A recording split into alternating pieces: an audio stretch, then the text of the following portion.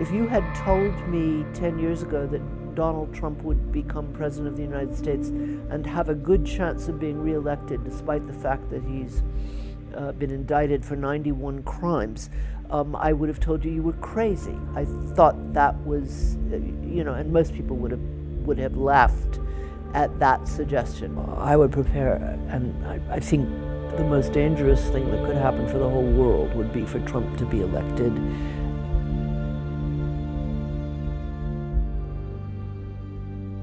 Let's look at a little bit at what happened. I think um, we have forgotten what happened in 1991 and where the left was in 1991.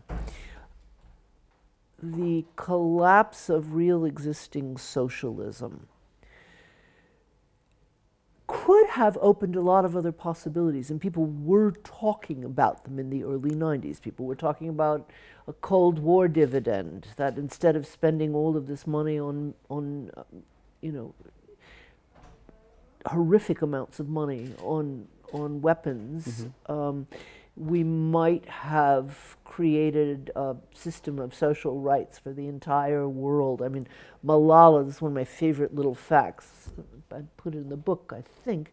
Malala has calculated that you could give 12 years of a good education to every child on the planet uh, on, on the basis of the profits made by the arms industry in eight days eight yeah. days every year. It's just an incredible figure. Okay, so after the Col- uh, the end of the Cold War, people were talking about all of the things that one could do with the money that the military-industrial complex was uh, taking up, and very quickly, uh, moving into the 90s, you had a movement of finance, of um, politics, but also popular culture, interestingly enough, that we're yeah. all working together to say, eh, eh, any form of socialism leads to the gulag.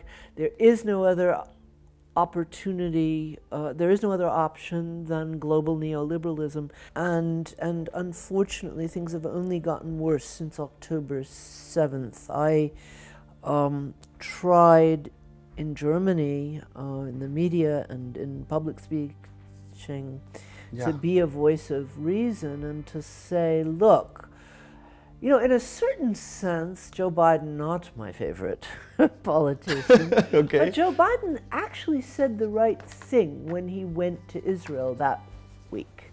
And it was quite significant because um, US presidents do not normally criticize recent US yeah. policy uh, on foreign soil. I mean, it was a big deal that people missed.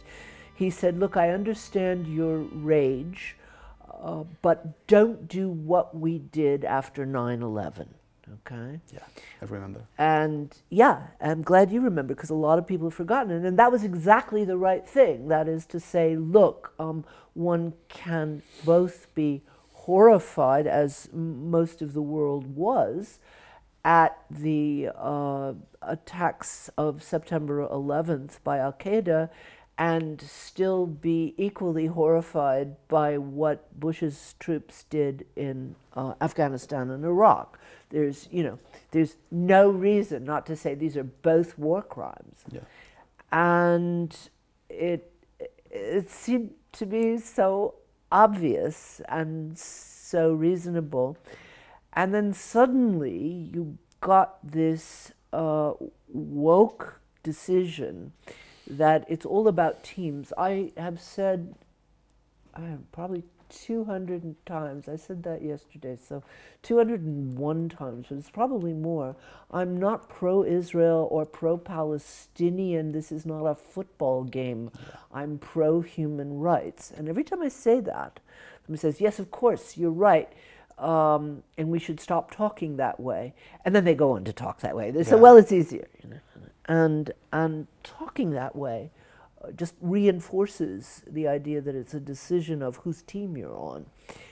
And I don't know if you've seen them in Spain. In the US, there have been videos of people at demonstrations who are asked, well, when you shout from the river to the sea, what river and what sea are you talking about? So, um, Whenever a journalist asks me what I think is going to happen, I say, um, "No, I'm sorry. I'm a I don't want to ask you that." No, no, I didn't say I'm, I'm, I'm not a I'm not a prophet. I'm a philosopher. Um, but I can tell you something about the current German government that um, that is connected with the woke. I don't know what's going to happen. I'm extremely worried. The polls are not good. The right is rising. This government has been a disaster. But this government has not only been a disaster because Scholz is not the world's most um,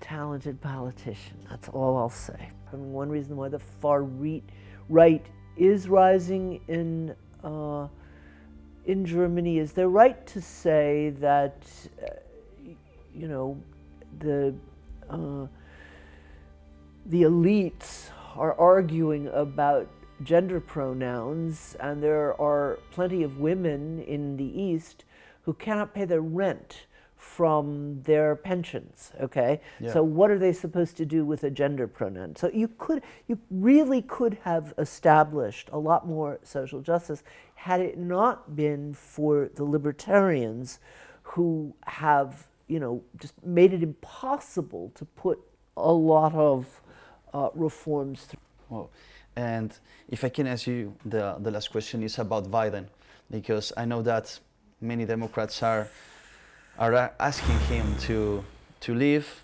to and to, to keep the path, the path free for another candidate, to beat Trump, that is the priority one and the only one priority right now. Do you think that would be a, a good uh, move?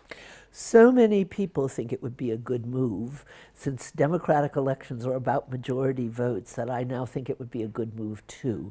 The problem is, you know, the majority does feel it would be a good idea. The problem is about who would take his place. And the fear is that Kamala Harris would do worse than Biden. So there's now talk about a brokered convention. Um, I had a friend who was a very well connected friend who was predicting that this was all going to be decided and he would retire by Thanksgiving. It has not happened.